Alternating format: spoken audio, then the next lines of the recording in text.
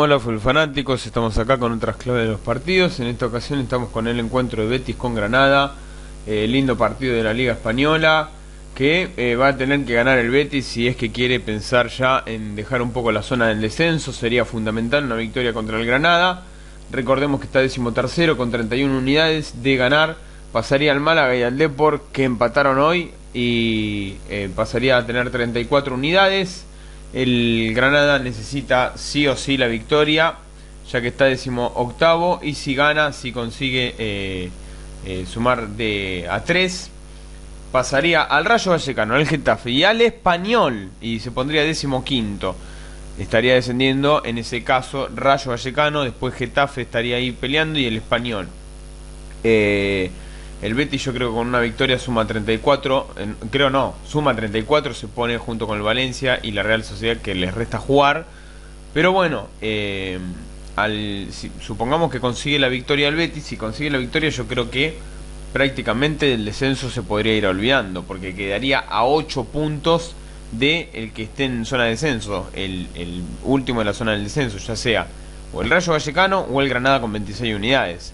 Eh, si es que pierden los dos, ¿no? Pero bueno, eh, es lo que, lo que uno especula, que si gana el Betis, yo creo que se puede olvidar si, si uno de los dos equipos, estos que nombramos, el Rayo Vallecano o el, o, el Granada pierde.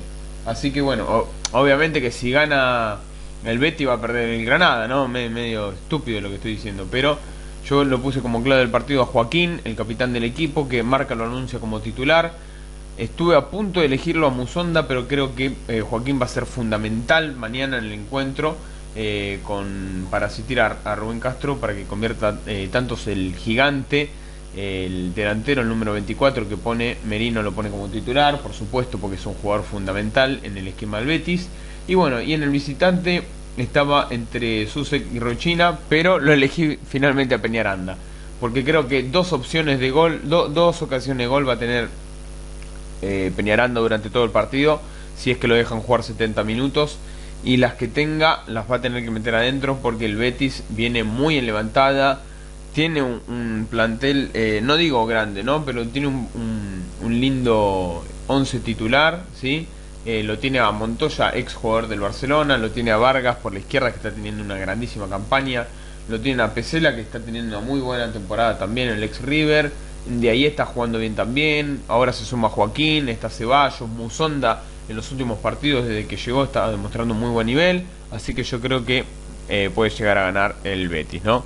Dicho esto, suscríbanse al canal, pongan me gusta en el video, comenten y compartan. Abrazo de gol. ¡Chau!